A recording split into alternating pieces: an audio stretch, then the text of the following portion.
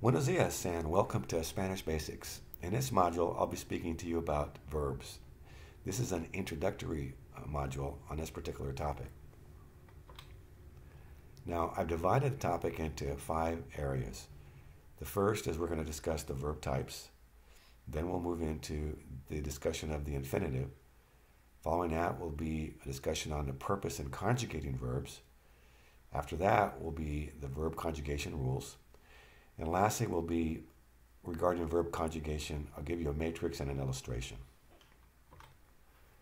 Now, regarding verb types, in Spanish there are three types of verbs, each distinguished by their endings. There's AR verbs, there's EI verbs, and there's IR verbs. So in this slide, we're going to introduce you to the infinitive. All Spanish verbs have an infinitive form. For example, hablar in English means to speak. Comer in English means to eat. Escribir in English means to write.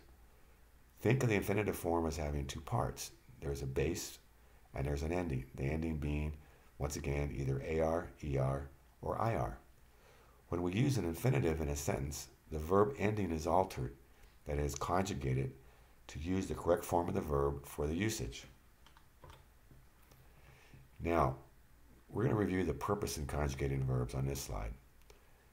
Verb conjugation is a change in the form of the verb to express a different person, for example, first, second, or third person, a different tense. Tense refers to time. In English, in English, there are six tenses, three of which are present, past, and future. In Spanish, there are 14 tenses. Conjugation is also used to express a number, either singular or plural. It's also used to express mood, that is, to express a statement, a question, a conditional statement, subjective statement, or an imperative statement. And conjugation is also used to express voice, either active or passive. In this module, we're just going to be discussing the first three person, tense, and number. Mood and voice will be discussed in other modules. These are the verb conjugation rules. Now, regular verbs are conjugated with a consistent pattern. Now, having said that, there are irregular verbs, but that's not going to be discussed in this module. irregular verbs will be discussed in another module. So let's focus on regular verbs, and let's focus on, on, on the present tense rules. So the, the infinitive ending, as, as a starting point for the rules, the infinitive ending is removed. We remove the AR, the ER, and IR. And then we replace the infinitive ending with a unique pattern. The ending for all AR verbs is o, as, a, amos, ais, and an. The ending for all ER verbs is o, es, e, emos, es, and en. The ending for all IR verbs is o, es, e, imos, is, and en. Now, let's get more specific. So here I'm providing you with what I call a verb conjugation matrix.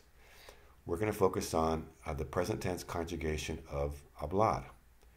Now, once again, the rule is we drop the AR ending here and then add either o, as, a, or amos, ais, or an. So that would translate to what you see here. There is hablo, hablas, habla, hablamos, habláis, hablan. Now, let's move ahead to the next slide and I'll show you how this can be expanded. So in this slide, we combine the, the pronoun matrix with the conjugation matrix. As you may recall, the, program, the pronoun uh, matrix was discussed in Module 3. Now we're going to marry that concept with the conjugation matrix that we just reviewed in the prior slide. So when we do that, here's what we get. We get yo hablo, tú hablas, él habla, ella habla, usted habla, nosotros hablamos, vosotros habláis, ellos hablan, ellas hablan, and ustedes hablan. At this point, we're getting close to the end of this module. I want to switch your thoughts. We're going to be just adding a little bit more to your vocabulary here. So this is these are the months of the year. So if you could repeat after me as I as I review this with you. January is enero, February is febrero, March is marzo, April is abril, May is mayo, June is junio, July is julio, August is agosto, September is septiembre, October is octubre, November is noviembre, December is diciembre. Now, the last slide here is a simple refrain. Entre las gentes hay mil gustos diferentes. Among the people, there are a thousand different tastes. We've just finished this module. I want to thank you for watching Spanish Basics. If you can, uh, please subscribe to the Spanish Basics channel and you'll receive notification for new modules as they're developed. Muchas gracias. Hasta luego.